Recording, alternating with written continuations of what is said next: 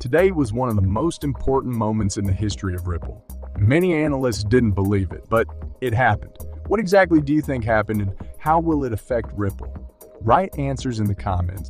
Welcome to the Rich Club channel. Please watch this video to the end, like it, and subscribe to the channel so as not to miss the release of new videos. Also in this video, we will show the lucky winner of giveaway, free 500 XRP, and maybe it will be you so watch the video carefully until the end. Online fraudsters are impersonating major cryptocurrency firms like Ripple and Binance by creating fake websites and email imposters pretending to provide staking services for XRP. One such website includes a blog post titled XRP Staking Set to Debut January 2023 for retail users, inviting users to stake their XRP with unrealistic returns on investment. ROI ranging from 12 to 27. The fake scheme attempts to rush XRP investors' decision by stating that only the first 10,000 accounts will receive a higher ROI. The fake website provides a well-crafted clone of Ripple's website, Ripple.com, by copying the original layout and fonts and linking some of its previous blog posts the impersonators also attempted to add more credibility to their posts by adding information about the importance of self-custody using major hardware wallets, such as Ledger or Trezor.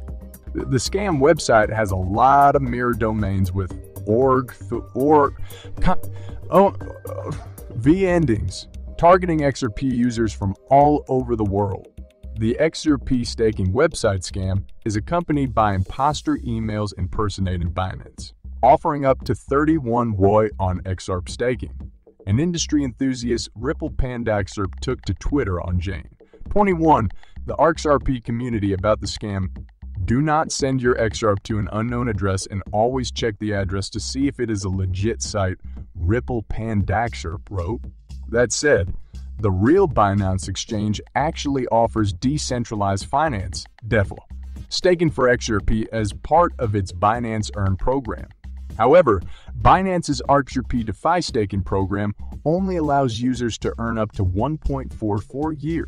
It's important to note that XRP cannot be staked because it doesn't run with a proof of stake POS, system like major POS cryptocurrencies such as Ether. Instead, XRP transactions rely on a network of unique nodes that agree on which transactions can be processed in the network. Investors are advised to conduct thorough research to ensure the legitimacy of a platform before making any investments. The long-running legal brawl between Ripple and the U.S. Securities and Exchange Commission edges close to an end. In a tweet today, top U.S. defense lawyer James K. Filan informed his over 138 followers that as of January 19, 2023, everything is briefed in the lawsuit. This suggests that the parties, Ripple, and the SEC have made the necessary filings, including motions for summary judgment and motions to seal all materials relating to the summary judgment motion. Filan's tweet comes as part of efforts to update the XRP community on the scheduling updates of the lawsuit. An excerpt from the attached image read, Now we wait. Judge Analisa Torres is currently reviewing the multiple briefs filed by the parties before making a final decision. Reacting to the tweet, XRP community members took to the comment section to express gratitude to Filan for keeping them updated throughout the lawsuit, which has lasted for over two years. Attorney Jeremy Hogan, a partner at Hogan Hogan Law Firm, was among those who expressed gratitude to Filan for his efforts in keeping the crypto community updated. XSharp community attorney John Deaton also reacted to the latest scheduling updates shared by Filan. Deaton referred to Filan's latest Ripple v. Seek lawsuit. Seek lawsuit tweet as the best update ever. In December 2020, the SEC dropped a bomb on the crypto industry by suing Ripple and two of its executives, Brad Garlinghouse and Chris Larsen. The Securities and Exchange Commission claimed that Ripple and its XX sold unregistered securities in the form of XRP. The case, which Forbes dubbed the cryptocurrency trial of the century, is expected to set a precedent for the future of the U.S. crypto market. A win for Ripple could pave the way for regulatory clarity in the United States However, a ruling in favor of the SEC could give the regulator a powerful weapon to go after other cryptocurrency projects. In previous updates, Filan has predicted that Judge Torres would likely make a final decision on the case before the end of March 2023. Meanwhile, Ripple's CEO recently told CNBC that he expects a final resolution of the company's legal brawl with the SEC to happen in the first half of this year. Garlinghouse added that he is confident about the outcome based on Ripple's position with the law. The case is now fully briefed in front of the judge. Oh, we are optimistic that this will certainly be resolved in 2023, maybe the first half. We'll see how it plays out from here. But I feel very good about where we are relative to the law and the facts, he remarked.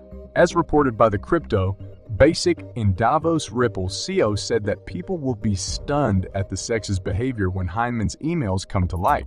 According to Crypto Law, founder John Deaton, the Jan. The Jan 30L Bree hearing is one of the most important events in crypto. Last year, the cryptocurrency startup LBRY lost in summary judgment, and victory was granted to the SEC from the judge's ruling. The January 30 LBRY hearing is one of the most important events in crypto. BWW. When the transcript of the November 21, 2022 LBRY hearing is made public, the on-the-record statements made by Jeremiah Kauffman to the judge need to be sent to every senator and congressman.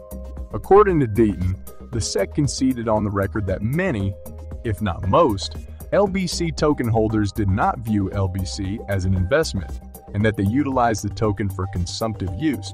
However, when pressed by Elbrick Keo Jeremy Kauffman and the ruling judge to provide clarity on LBC's secondary transactions, the SEC refused.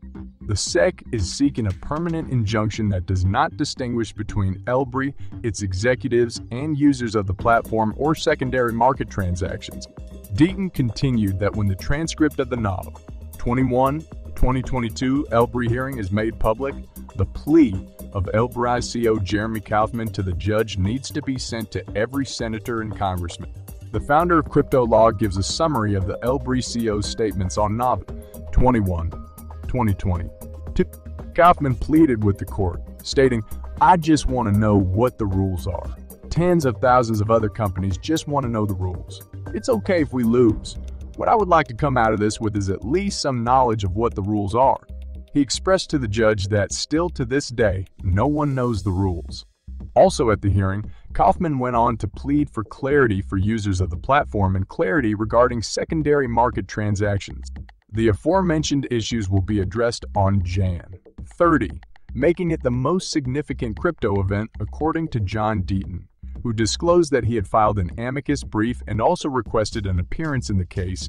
In earlier tweets, Deaton stated that the market would continue to receive guidance only through judicial results from the SEC's regulation by enforcement policy.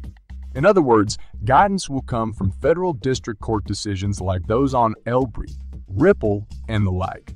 This is why the industry must come together to fight all of these court battles because clarity through legislation is not coming. Deaton stated. Thank you for watching this video to the end. If you liked it, then don't forget to like and subscribe to the channel so as not to miss the release of new videos